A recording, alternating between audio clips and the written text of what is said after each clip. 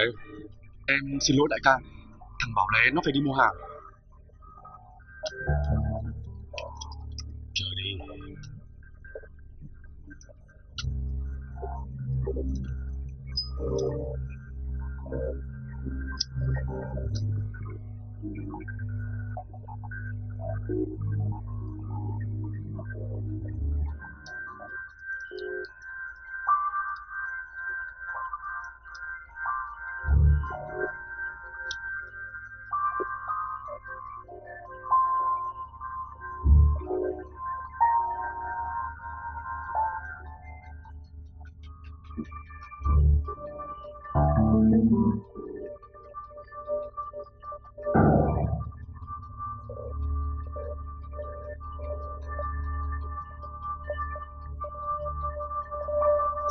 Thấy đại ca có vẻ suy tư thế.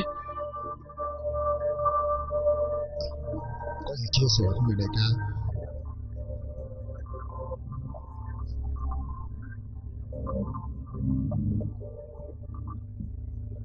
Anh có việc. Nhờ hai thằng em mày. Trước khi đại ca vừa nói tình Thì tụi em bó tay. Còn việc lên đèo lội suối Tụi em cũng làm vì đại ca. Tốt lắm thank you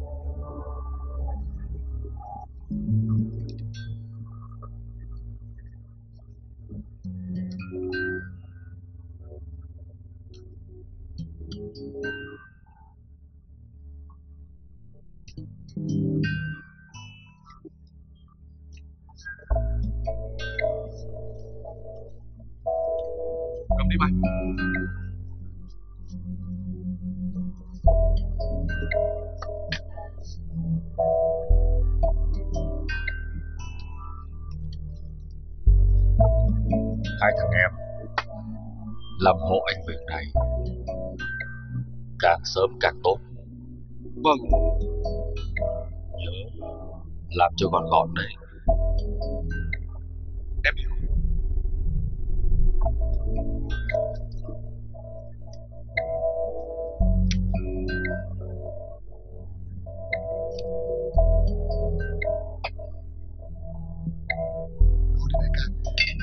Chào cô Sao? Công việc tiến triển tốt không? Dạ hôm nay em đến đây nhờ cô xem kỹ lại Ừ.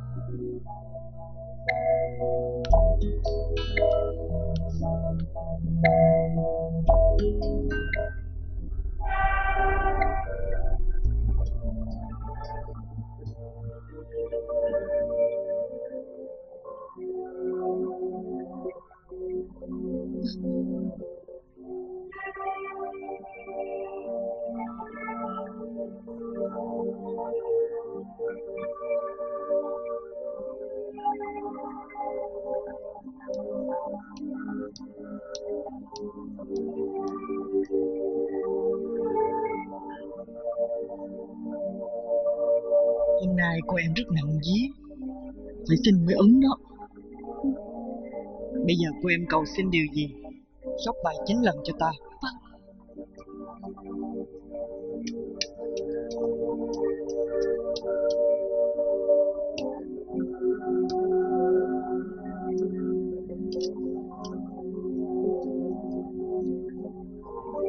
Ta phải bóc một lá.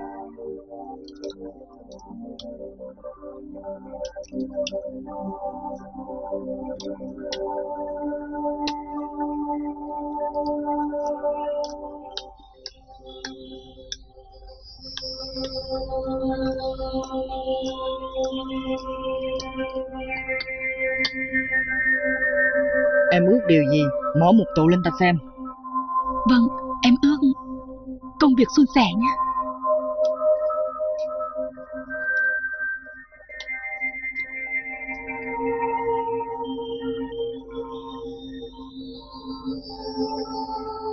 Lá bài rất đặc biệt Rất khó coi.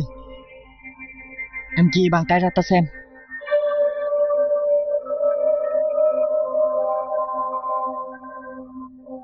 Cô em không phải là người bình thường Cuộc đời cô em Từng nhiều lần lên voi xuống chó, Có nhiều uẩn khúc lắm Mạng em là mạng đàn ông, Một tay làm nên chuyện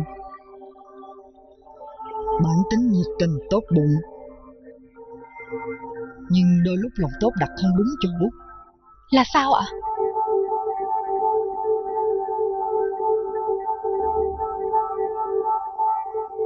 Em là nữ, nhưng dương tính, rất nóng nảy, thường quyết những chuyện lớn, tính rộng rãi, coi thường mọi chuyện. Nhưng mà có nhiều tiểu nhân xung quanh lắm. Dạ vâng. Thế nhờ cô xem giúp năm nay có tốt không ạ? Năm nay tiền bạc tốt hơn năm rồi, có nhiều sự thay đổi khả quan. Mọi sự xui xẻo quá giải được. Dù vậy, không phải lúc nào cũng trơn tru. Em phải hết sức cẩn thận vào những tháng cuối năm, đề phòng tai nạn. Hoặc có người phản trắc, Thế giờ có cách nào để hóa giải không hả cô?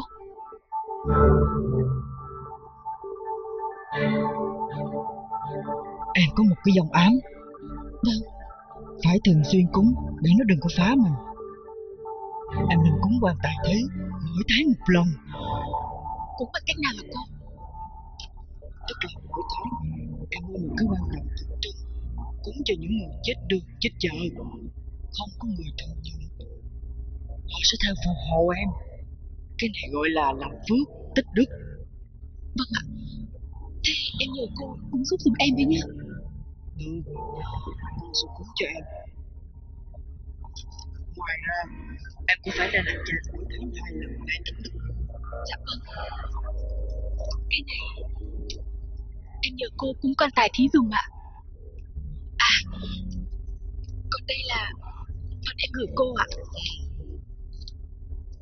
em nhớ những điều ta dạy mọi chuyện sẽ tốt đẹp thôi Em cảm ơn cô nhiều lắm ạ. Xin phép cô.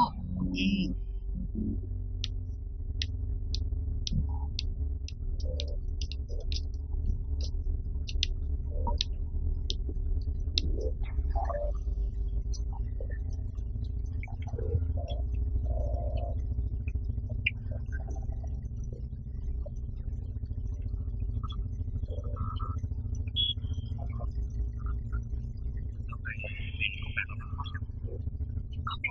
phải lo lắng chứ. Tao sống ngày nào ngày Muốn đi đâu tư tặng ta đau đầu quá. Chúng ta đến tiệm bác ra. Chỗ một đi hát sẽ đến Chỗ đấy cũng được.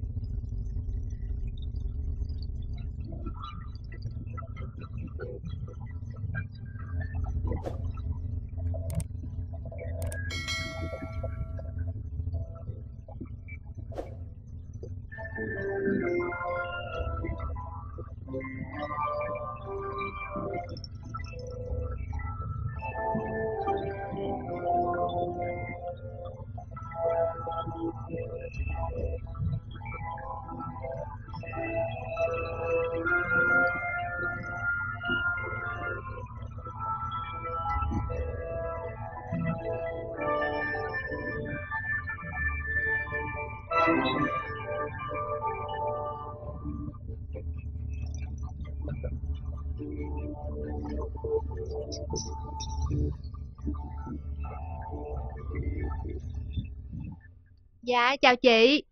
Ủa, hôm nay chị Ừ. đi một mình hả? Chị đi công việc. Mỏi mệt. Nên chị ghé làm luôn. Dạ mời chị lên phòng số 10, em cho nhân viên Ừ. lên ngay nha. Dạ.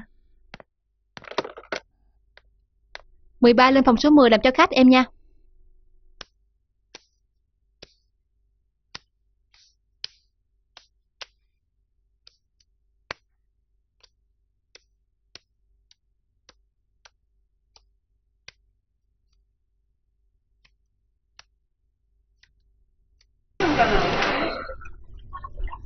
Mình đồ hộp không anh? Lỡ lúc em bận á, anh ăn khỏi chế biến nha. Em cứ mua gì thì anh đến đấy Em mua gì cũng được Thì em không lo đâu nhá Chà, bữa nay chân dài gặp đại gia rồi ha.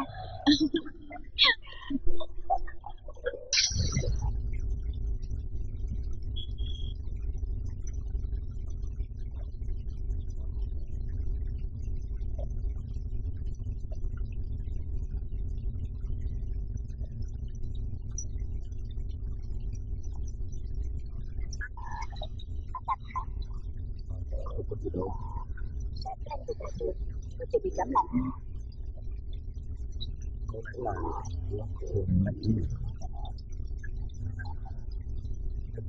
vậy.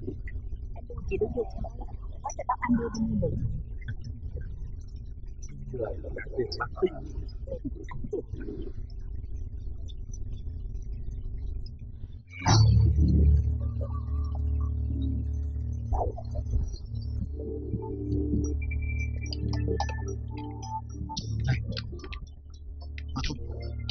đi xuống đây tôi làm cho. Ông cùng vợ con, có gì hãy lo. Nhớ phi ta khẩu súng nhá.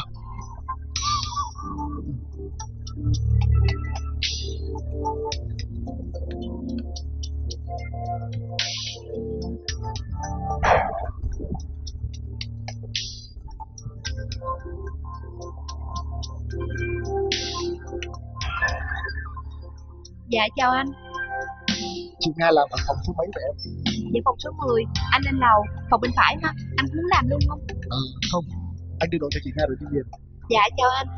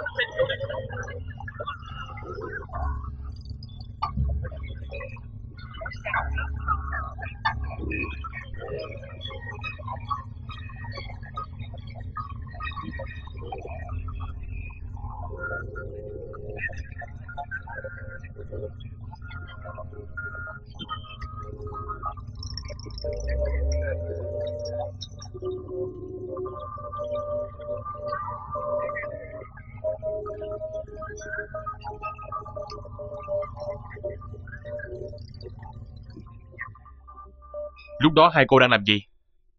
Dạ tụi em đang massage cho chị Nga Hai cô có thấy rõ mặt người đó không? Dạ Lúc đó thì em thấy có một người đàn ông nói tiếng Bắc xô cửa vào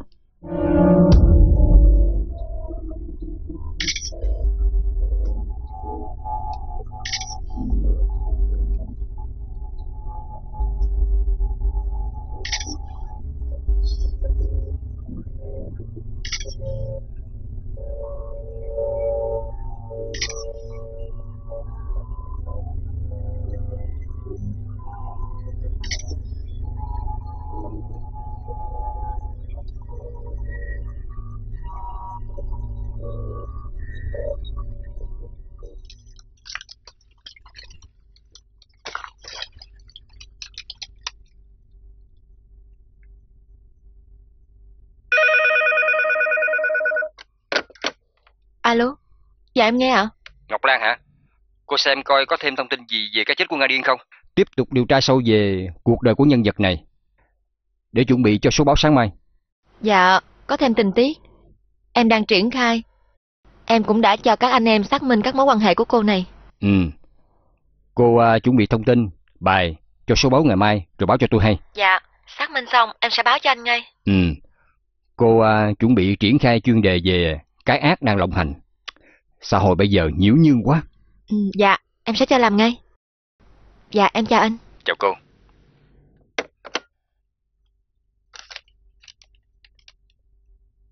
không kiên bình á luôn Trời, sao kỳ vậy ta Ừ. ngồi nãy giờ. Quỷ vậy trốn không tiêu nó mất mất tiêu nó Thôi nhiều khi nó có người yêu nó đi chơi người yêu nó đi chơi gì với ông sao em gì gì cũng hiểu sao. Chơi nó Em cho chị một ly cà phê sữa đá. Và một ly sữa tươi ít đường nha. Dạ chị chào chú. Này Ê, nữ hoàng của tôi anh nhiều vào nào Trời ơi Anh nhiều Anh thương em kiểu vào. này bằng 10 lần hại em rồi. Em mập lắm rồi. Cứ cố ăn đi, cho màu lớn, chống già. Chọc em hả? Em nhéo bây giờ. Hmm, đừng có dọa anh. Anh sợ lắm rồi. Anh biết là anh đã đụng nhầm sư tử miền Tây rồi. Thôi ăn đi anh. Anh có đọc vụ án giết người ở tiệm massage chưa? Kinh quá. Bây giờ người hèn sợ kẻ ác.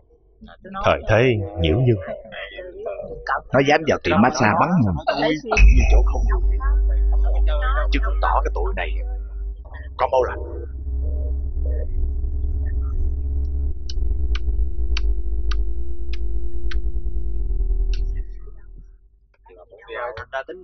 máu lạnh Cảm ơn em. Dạ. Có sao đâu à Đâu phải có mình đâu Còn có tôi nữa mà Cũng có người nói chuyện nhau mà vậy Anh. Sao đang vui? Tự nhiên nghĩ gì vậy? Ừ, Anh đang vui mà. Ăn tiếp đi em. Ăn tiếp đi. Anh đang lo lắng chuyện gì vậy? Em thấy anh có những khoảnh khắc khó hiểu quá. à. Vui buồn bất chợt. Ờ, có gì đâu. Anh đang lo cái chuyện làm ăn đấy mà. Ừ. Giết người lạnh lùng như vậy á, chắc là giang hồ thứ thiệt. Tụi nó máu lạnh quá. Ông anh cô ngộ rành tâm lý tội phạm quá ha Tụi nó lộng hành quá Mà tôi thấy nhiều vụ án công an bó tay Cho nên tụi nó càng lộng hành Mấy ổng giờ lo làm kinh tế nhiều hơn là gìn giữ an ninh trật tự. Có bảo kê, nên tụi nó mới lộng hành như vậy á. Tình hình địa ốc đóng băng, chắc là anh hai lo lắm. Nhưng mà em nghĩ nó xuống rồi nó lên thôi. Anh hai giỏi vậy chắc lèo lái được mà. Ừ. Thế anh hai chạy tới chạy lui vất vả, lo lắng nhiều. Anh lại không giúp được gì. Anh đừng có quá lo lắng nha. Mình còn tiệm tóc, mình sẽ sống tạm mà. Nghe đâu, nhận dạng được thằng giết người, nhưng mà chưa bắt được. Chắc nó cao chạy xa bay rồi Bắt được tụi này á Không tử hình á Thì cũng chung thân. Vậy nó mới sợ.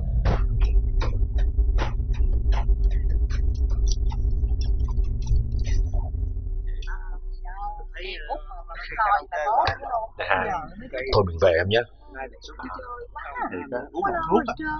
Dạ, Anh cho mượn tao bác em ơi tính tiền. Dạ.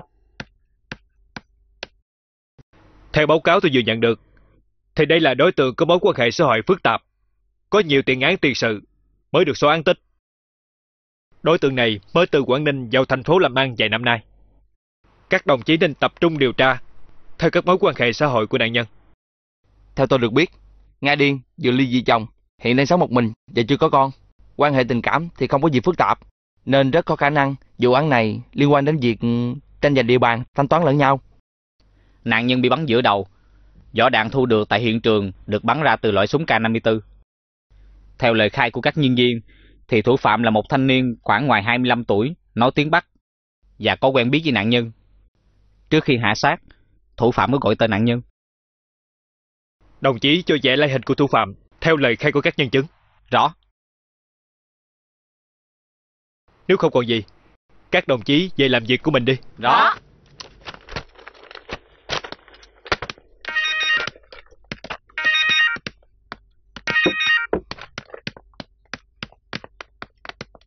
Alo, anh nghe nè. Bên anh có thêm thông tin gì về cái chết của Nga Điên không? Cũng có một số thông tin, nhưng mà chưa có làm rõ, nên anh không thể cung cấp cho em được. Ừm, nhưng em đã đăng ký phỏng vấn phó giám đốc phụ trách cảnh sát về vụ án này rồi. Có thông tin gì mới, anh nhớ cho em biết nha. Em bây giờ là trưởng ban rồi. Những đề tài này nên để cho anh em viết. Em nghỉ ngơi cho khỏe. Trưởng phòng sợ vợ làm nhà báo moi thông tin chứ gì. Thôi được, anh cứ giữ bí mật những thông tin của mình. Em có cách khai thác khác rồi.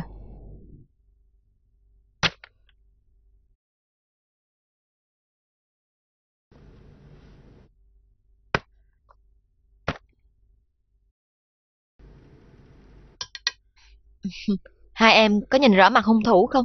Dạ em nhìn không kịp, nhưng chắc chắn là người quen của chị Nga. Sao em nghĩ người đó là người quen? Anh ấy có lên tiếng gọi là chị Nga ơi. Rồi chị Nga mới trả lời là ai đấy, rồi anh rút súng bắn chị Nga.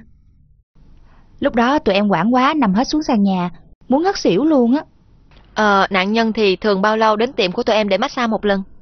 Dạ em nhớ không chắc chắn lắm, nhưng mà cũng đến thường. Chị Bo rất là sợp nên tụi em đứa nào cũng muốn làm cho chị. Chị Nga thường là đi một mình hay là đi với ai nữa không? Dạ, có khi đi một mình, có khi đi với một hai người đàn ông nào đó, làm ở hai phòng khác nhau.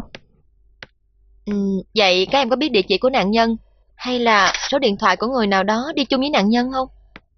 Dạ, số điện thoại của chị Nga thì em biết, còn những người khác thì em chỉ nghe họ nói chuyện với nhau thôi. Ừ, họ thường nói với nhau những chuyện gì? Ờ, tụi em không nhớ lắm, nhưng chỉ toàn chuyện Tứ Lâm thôi à, những chuyện ở ngoài Bắc. Ừ, vậy em có thường nghe nạn nhân nhắc tới tên của ai nhiều không? Em không nhớ chị ơi. À, có lần họ cãi nhau em có nghe nhắc tới tên anh hai nào đó. Cãi nhau hả? Cãi nhau về chuyện gì? Em có nghe rõ được tên không? Em không nhớ lắm. Em chỉ nghe nhắc tới tên anh hai thôi. Ừ, còn nhắc tới tên của ai nữa không? Trời ơi, mỗi ngày làm gần cả chục khách. Làm sao tụi em nhớ hết nổi? Tại chị Nga là mối ruột nên tụi em mới để ý thôi. Um...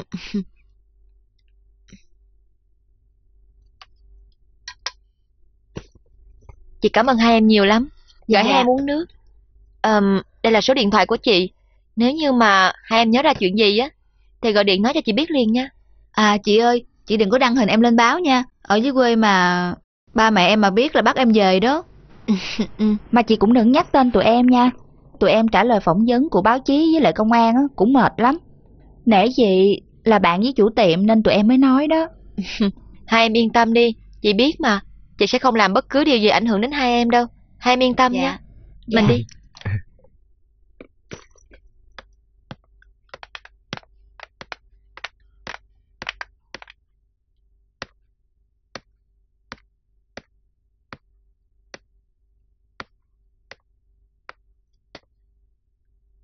Thằng Bảo Lé có sao không đại ca? Nó tỉnh rồi. Cũng may chỉ bị phần mềm. Nhưng mất máu nhiều quá, cho nên bị ngất. Nhưng mà có thông tin gì không anh?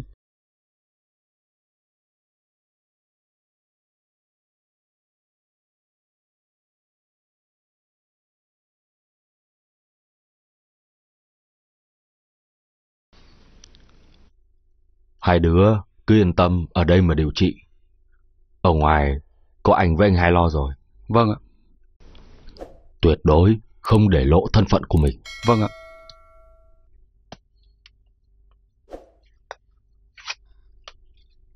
Em cứ cầm tạm cái này. Có cần gì á thì nhờ người mua giúp. Không nên giữ tiền nhiều. Anh sẽ tính sớm, yên tâm đi. Vâng. Thôi, cứ nghỉ ngơi tĩnh dưỡng, khi nào rảnh rỗi anh sẽ vào. Nhớ, nhớ lời anh dặn nhé. Đại ca cẩn thận nhá.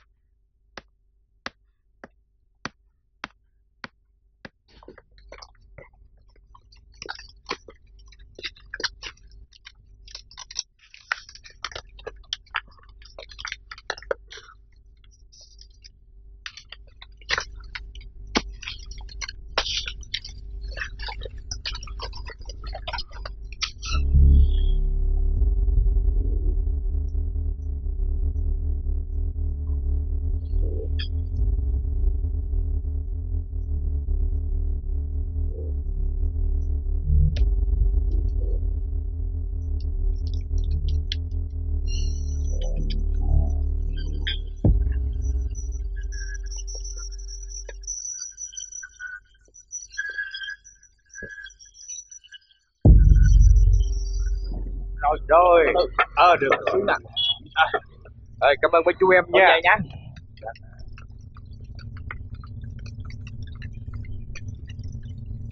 Em không bằng. Ô, ừ, lên tôi nó tới. Bà vô chuẩn bị vài món nhậu nha. Dạ.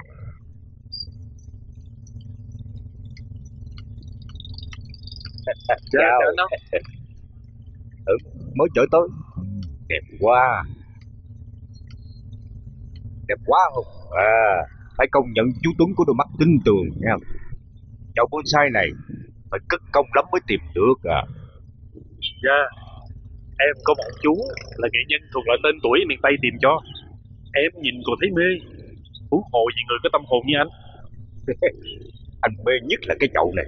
Ờ, nó có thế thác đổ thật quý hiếm. Dạ, em thích cái thế của cây này lắm. Nhìn cứ như là ngọn thác đang tút nước.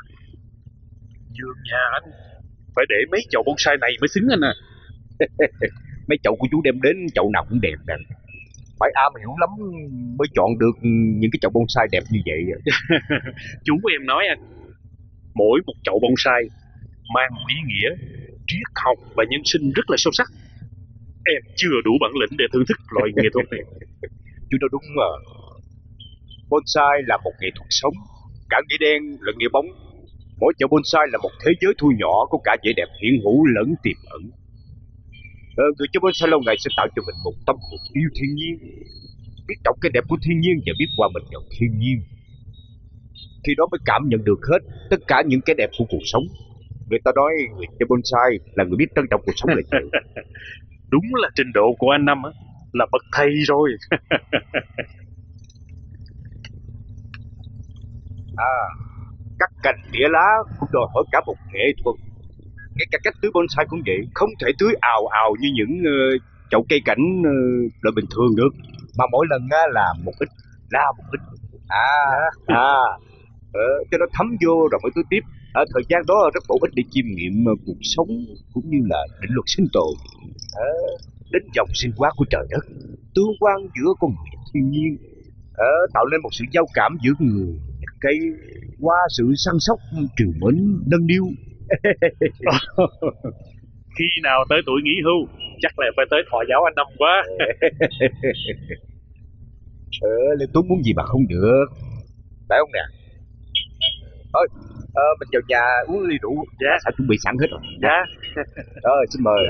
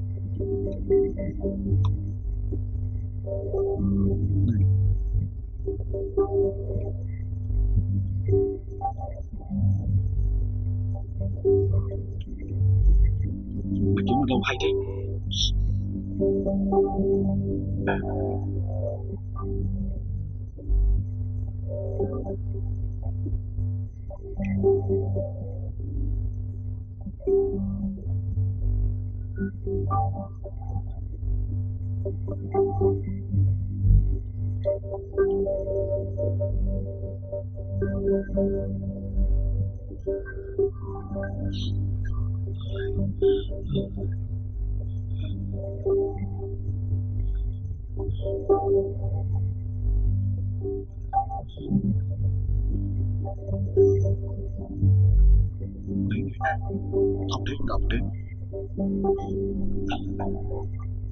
Tới nhiều cũng không tốt đâu. Đại ca dặn cứ yên tâm. Một vài ngày nữa, lấy chân tao nó đỡ, rồi tính. Không ngờ ông bị thương nặng hơn tôi. Từ hôm đó, bỏ mạng. Thấy máu trên đầu mày ra nhiều quá. Ai cũng nghĩ là mày to rồi. Cũng mày chỉ bị thương phần mềm. Nếu có chuyện gì, bỏ mẹ. Không biết mấy ông ở ngoài lo cho mình tới đâu rồi. Hay là tôi đều trốn đi nếu không làm nó mòn đến được Mày còn đi lại được. Chính tao làm sao mà trốn. Mà trốn đi đâu bây giờ? Phải đợi đại ca với anh nhà thủ sinh đã. Không biết vợ con tao ở ngoài bây giờ ra sao? Ông có điện về nhà không? Đại ca không cho liên lạc Hôm trước, tao chỉ gọi về nói là qua Campuchia làm, ở lại đó vài ngày rồi về. Vợ tao nó lo lắm.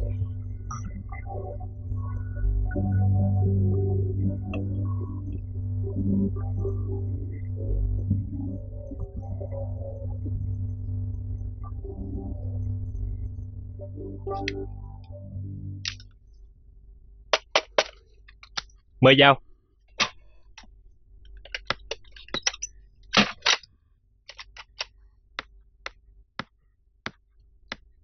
Báo cáo anh, đã có phát họa chân dung của tên ra tay bắn Nga điên rồi. Theo mô tả của các nhân chứng thì thủ phạm trên 25 tuổi, ốm, nước da ngâm. Photo hình đối tượng gửi các phòng nghiệp vụ, công an các tình bạn và các đội truy nã. Dạ, em xin triển khai ngay ạ.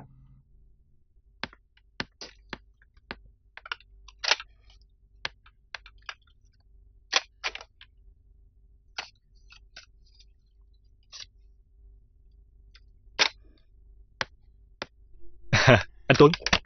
Chào. Chào anh. À. Mời anh ngồi. Anh lên phòng tài nguyên môi trường có việc. Sẵn lấy số hồng cho chú luôn. Sang tên xong rồi nha. dạ, mất công anh quá. Sao anh không nhắn để em đi làm về rồi ghé lấy? Có gì đâu. Tiện đường ghé đưa cho chú vui. dạ, vợ chồng em mừng lắm. Hôm trước bà xã em xem nhà có ý kiến gì không? Dạ, bà xã em mê lắm. Bà khen anh có cặp mắt thẩm mỹ. Trang trí rất hợp gu bà xã em. Vậy thì cô chú xem ngày lành tháng tốt, dọn dở đi. Dạ, em định là tháng này. Chắc uh, tăng gia hoành tráng quá.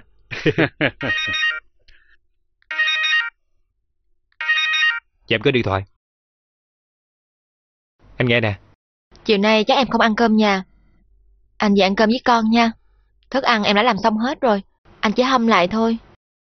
Em phải đi điều tra thêm vài thông tin nữa về vụ Nga Điên. Chắc sẽ về trễ đó. Anh với con ăn cơm nha. Vụ Nga Điên rất phức tạp. Theo anh á, em nên để cơ quan của anh điều tra làm rõ đã. Báo chí không nên đi trước, làm dư luận quan mang. Anh yên tâm đi, báo em có nguồn tin riêng. Tin độc quyền. Thôi nha, em viết bài xong mới về đó.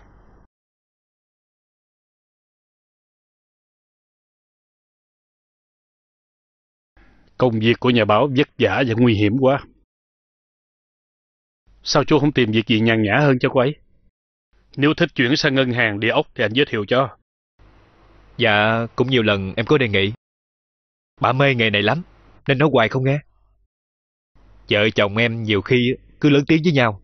Nhà báo mà viết mảng điều tra như cô ấy thì đi suốt ngày, khó lòng mà chăm sóc chồng con chu đáo lắm. Suốt ngày đối mặt với tội phạm án mạng. Cô đang viết bài điều tra về vụ Nga Điên bị bắn chết. Vụ đó tụi nó táo bạo thiệt. Đúng là xem thường pháp luật. Đã bắt được thủ phạm chưa chú? Dạ, chỉ mới phát họa được uh, chân dung của hung thủ. Dạ đây.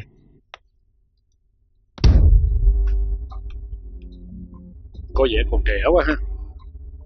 Dạ, tụi này táo bạo lắm. Thôi, anh về cho chú làm việc. Dạ. Khi nào tân gia nhớ mời anh nha. dạ, chắc chắn rồi. Dạ, dạ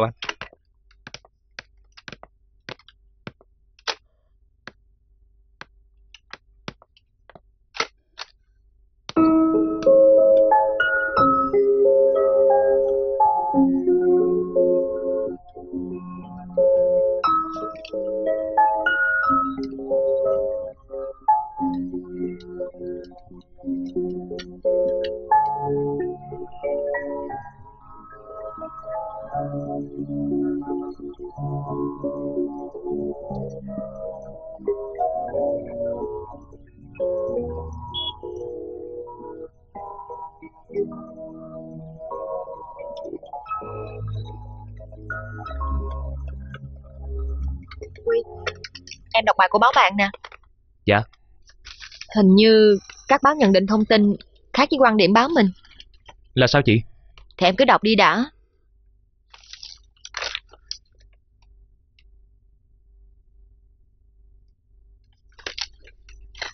Nhưng quan điểm báo mình đâu có gì sai. thì chị đâu có nói là sai. Những quan điểm trái chiều là chuyện bình thường.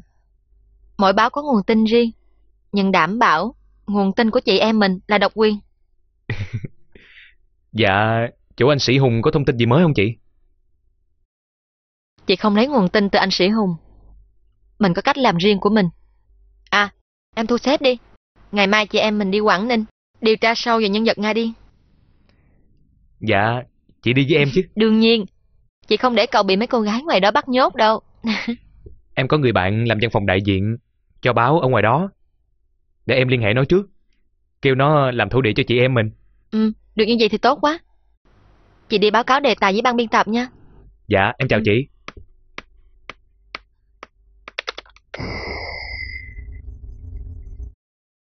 Đây là con vua. Con vua là to nhất. Các quân khác dây quanh và bảo vệ vua. Ông vua có to bằng ông trời không ba? không có bằng. Nhưng ông trời ở trên trời, không ai nhìn thấy ông to bằng cỡ nào. Còn ông vua mình nhìn thấy, đây nè. ông vua bé tí tẹo như cục kẹo, mà ba Hùng gọi là to nhất. Ý bà nói to nhất là ở trên bàn cờ thôi. Đây là quân tốt nha. Quân tốt giống như quân sĩ, sai đâu thì đánh đó. Nó giống như người giúp việc bên nhà bạn Bảo đúng không ba? người giúp việc bên nhà bạn Bảo là thay mẹ bạn ấy nấu cơm, dọn dẹp nhà cửa, khi mẹ bạn ấy bận. Còn cậu tốt á, ra trận chiến đấu để bảo vệ vua.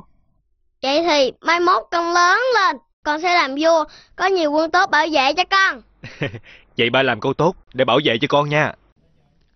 Ừ, thôi, không chịu đâu. Mà sao con vua còn con nào to hơn nữa không ba? Con hậu nè, con xe. À, con hậu có nghĩa là hoàng hậu. Vậy mẹ sẽ là hoàng hậu, đúng không ba? Ừ. Còn ba sẽ là con xe. Chở con đi chơi nha. dạ, xin tuân lệnh. Hạ thần xin suốt đời làm nô bộc trung thành cho bệ hạ. Ấy, à, chắc mày về. Hình như là vậy.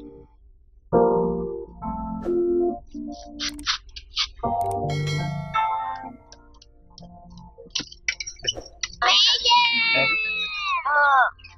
Để anh dẫn xe cho. Dạ. Nãy giờ ở nhà con trai của mẹ làm cái gì? Dạ, con là con vua. Vậy hả? Còn ba là người hầu. Ý, không phải. Ba là chiếc xe, đi theo con, bảo vệ con. Còn mẹ làm gì? Mẹ hả? Mẹ sẽ là hoàng hậu, cũng là lính của con luôn. Hả? Hoàng hậu làm lính của con luôn. dạ. Ông vua quay quá à. Mẹ làm hoàng hậu mà cũng là lính của con luôn. Bây giờ ông vua đi vô trong đánh răng, rồi uh, vô phòng coi tivi chút xíu thôi. Xong cai ngủ sớm, ngày mai đi học sớm, chịu không? Dạ chịu, xin tuân lệnh hoàng hậu. Đây. Xin chào vua. Đi.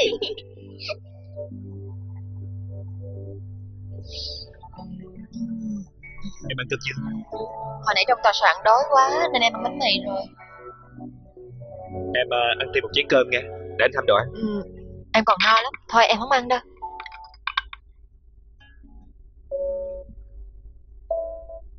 Ờ, em làm báo cực quá. Hay là em có muốn chuyển qua ngành ngân hàng hay là đéo gì không? Anh nói gì vậy? Anh kêu em bỏ nghề báo hả? Ừ. Anh thấy em cực quá. Bây giờ kinh tế nhà mình cũng đâu đến nỗi nào. Em làm báo không phải vì kinh tế. Nghề báo nó giống như là thấm vào trong máu của em vậy. Em không bỏ được.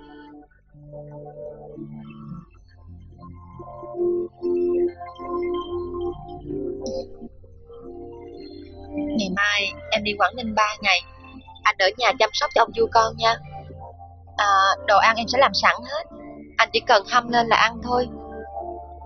Em đi để điều tra cái vụ ga điên đó hả? Anh nói là vụ đó rất phức tạp. Nên đừng có đi. Anh sẽ cung cấp cho em một vài thông tin quan trọng. Thôi Mọi việc em đã thu xếp xong hết rồi. Với lại Em không muốn moi thêm thông tin của anh Em cũng không muốn anh làm sai nguyên tắc.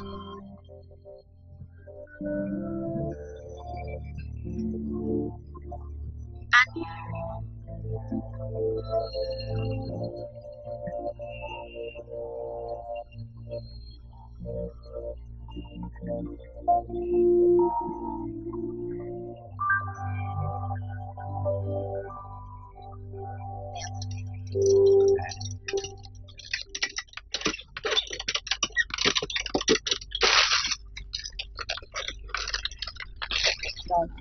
Thiên qua đi anh.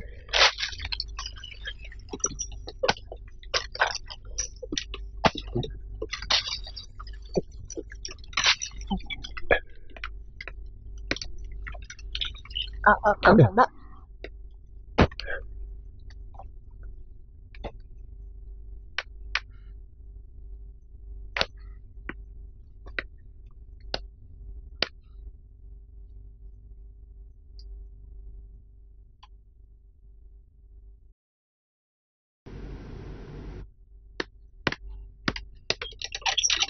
Ủa anh bị gì chị? Dạ, đang đi đường bị chém nhầm. Trời đất, rồi có bắt được hung thủ không? Dạ không, ảnh đang đi học, trên đường bị chặn chém rồi chạy mất. À vậy hả? Trời ơi, công an mà không dọn hết tụi này là loạn hết đó.